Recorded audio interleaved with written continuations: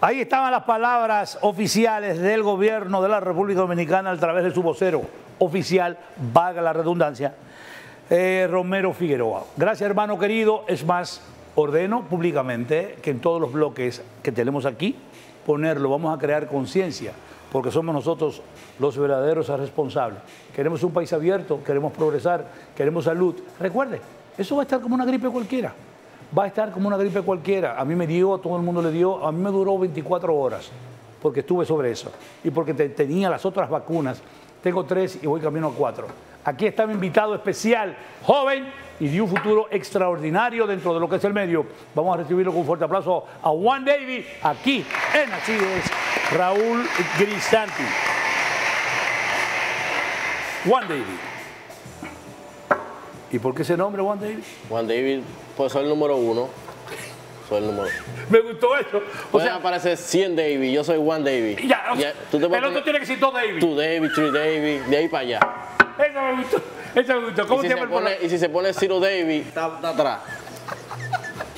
Hey, ¿De qué hora? Yo sé todo, pero tengo que ser no, no, como claro. la, el vocero, valga la palabra. Que usted no sabe, Dick. Exacto. Dije, yo no sé, está buena, te dije, tú sí. lo sabes. ¿A qué hora? ¿En dónde es el programa? ¿A qué hora es? Si es diario, ¿quiénes están contigo? ¿Y quién produce ese programa, mi querido Juan David? Perdóname, ante todo, tu, tu, nombre de pila, ¿cuál es? David, David. David, David. David, sí. David, David. No, no, David, solamente. ¿David qué? Fernández. Apellido presidente. Hey, apellido presidente, pues tú estás bien. No apellidito. Sí, porque hay uno que dice, de que, ¿cuál es tu nombre de pila? De que, eh, de Pomuceno, no, ahí que pasó, quédate no. con el Juan David. Y unos apellidos rarísimos. Eh, una vaina rarísima, sí, está bien, pues está bien. Juan, eh, Juan Fernández. David Fernández. David Fernández, perdón. Sí. Dime, mi querido David. Bien, bueno, el, pro, el proyecto La Máxima Radio Show es producido por Miguel Alcántara. Eh, mi hermano. Claro. Mi hermano. Eh, Le bajó 740 libras.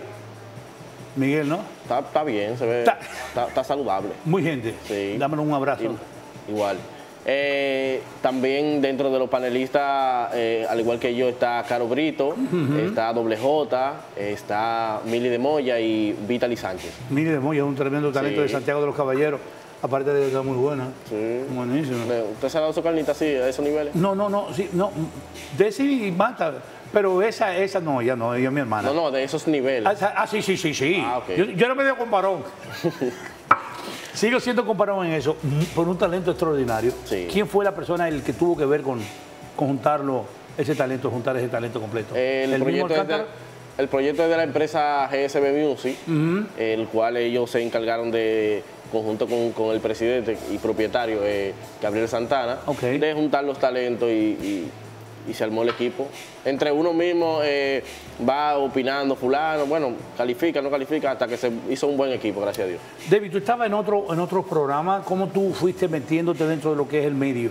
¿Cómo, cómo y llegar ahí? Si usted supiera que yo empecé en Santiago como productor de un programa de televisión. ¿Tú eres Santiago así también? mismo. No, viví un tiempo allá. Ah, okay. Sí. Eh, yo soy de aquí, de un pueblo que se llama Majagual, Sabana Grande de Boyá. Sí, claro. Exacto, claro. de la provincia de Monteplata. Buenas fiestas patronales que estaban ahí. Sí, sí. Están como bajando ahora. Tienen... Muchos han bajado por eso. Pero, ¿Le pagaban su moña a usted para animar por ahí? Pero duro. No, no, como cantante, pero yo fue mucho. Lo, Anthony y yo íbamos Aunque, mucho por ahí. Eh, eh, los artistas van a animar también. Ah, no, claro, es que yo tengo las dos cosas. La ventaja es que yo puedo hacer las dos cosas. Ok. Pues entonces empecé allá, luego formamos el proyecto del gobierno urbano. Yo y. Eso se pegó. Sí. sí. Entonces pasó, pasó ese ciclo, eh, sentía que no, ya no era o sea, negocio para mí. Uh -huh. O sea, siempre hay que evolucionar. Bueno, si, si, me conviene allí, pues vamos a darle por ahí. Uh -huh, Porque claro. al final yo tengo que, que, preocuparme por mi futuro. Claro, claro. Y por, y por mi proyección.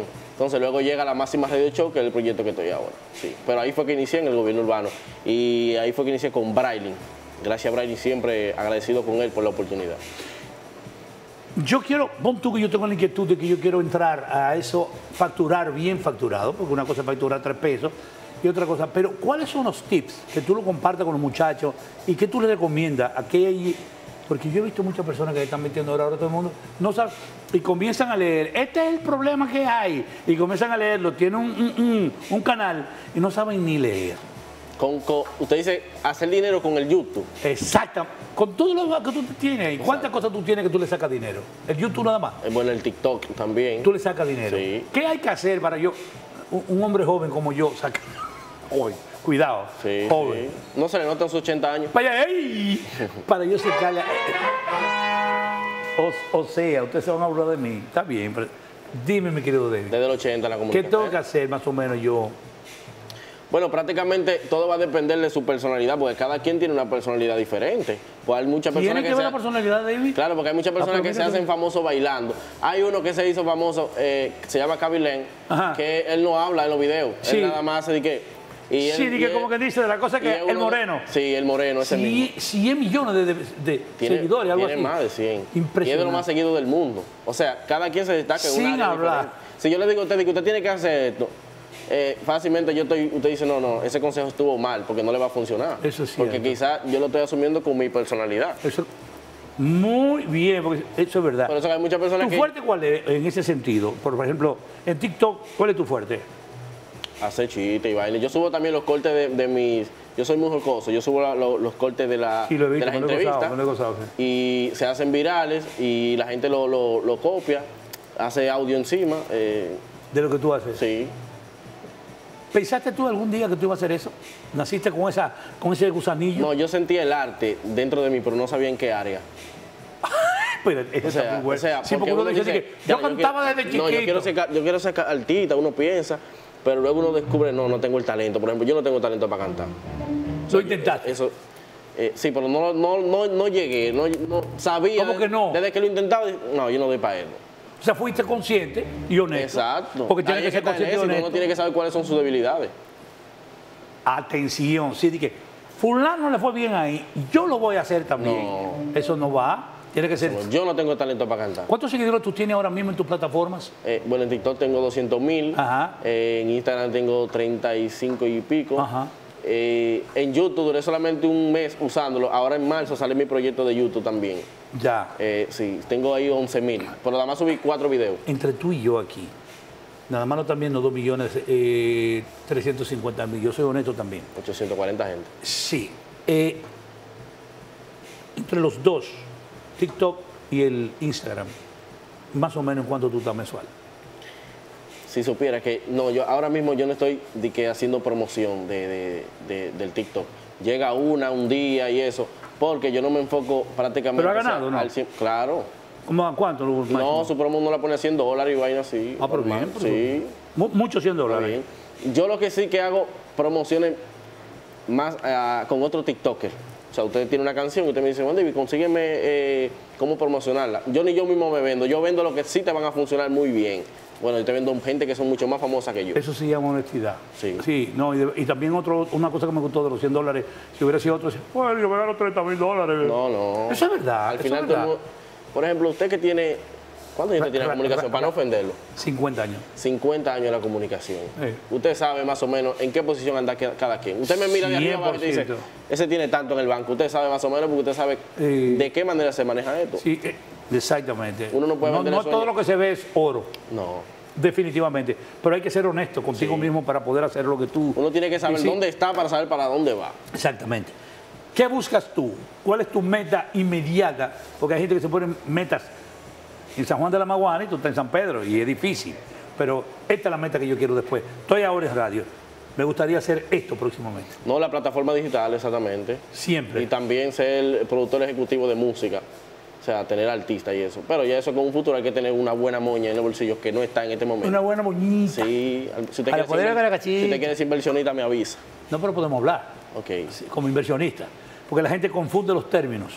La gente dice eh, socio o e quiere- inversionista. o mi vaqueo. Exacto. El inversionista es el que invierte, no opina, invierte. Porque si yo no. ¿qué es lo que voy a hablar si yo no sé lo que hay? ¿Te entiendes? Pero Eso pasa con muchos inversionistas. Ellos se entran como inversionistas, luego quieren ser manager Eh, y el que, el que está ahí dice, dale, dale. sí, sí, y se cae. Y ya. Pero tú me dijiste que tú eras bueno, pero tú fuiste que te metiste y tú no sabías de eso. Es un graso error, ¿eh? Definitivamente. ¿Te gustaría hacer televisión, mi querido Juan? Es bien complicada la televisión. Sí. Bien ¿Por- complicada. por qué tú lo consideras así? Porque es, la, la radio es mucho más cómoda. Sí. Mucho más cómoda. Por eso, por el asunto de, de- de- de estar en vivo en una televisión, no es No tan es fácil. fácil, como, como la radio. Sí. Eh, y más uno que está acostumbrado ya, bueno, uno se escucha. Sí. Es un poco más. Tenemos más- unos, unos segundos, en, en unos segundos.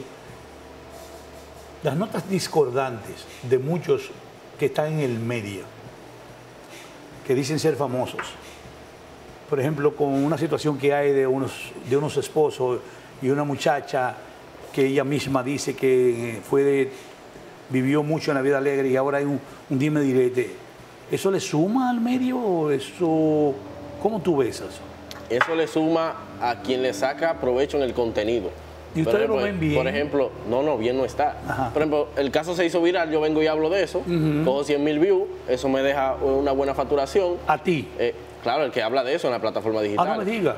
Pero a ellos no les deja nada, ellos lo que tienen problemas de fiscalía.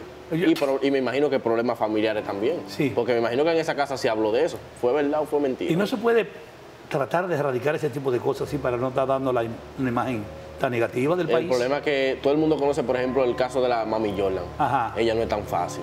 O sea, en el sentido de media troteada. Ah, ok. O sea, es difícil. Si fueran dos, tres personas, cuatro que tengan eh, sentido común, que más o menos encajen en la misma personalidad, sí. Despedimos con esta pregunta.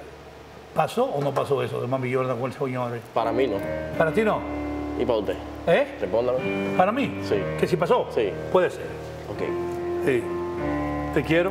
Igual, Usted puede estar en la televisión, usted dice que no. Mire, me gustó lo que usted dijo, que se sentía buena vibra aquí. Sí, hay vibra. En eso ahí, usted dice, esto se llama Sierra Grisanti, ese es él, yo me llamo fulano de tal, usted a su manera. ¿cómo fue? Continúa el Repítame la programa. producción, repítame la producción. Esto es así, es- ¿la qué? ¿La qué? La producción. Esto es así, Sierra Luis Grisanti, vamos a seguir con el programa. Esto es así con Raúl Grisanti. Camarógrafo, llévatelo. No es así, Pero no. bien, señor director, vamos arriba. Esto es así, Grisanti, volvemos ahora, no se muevan, gracias.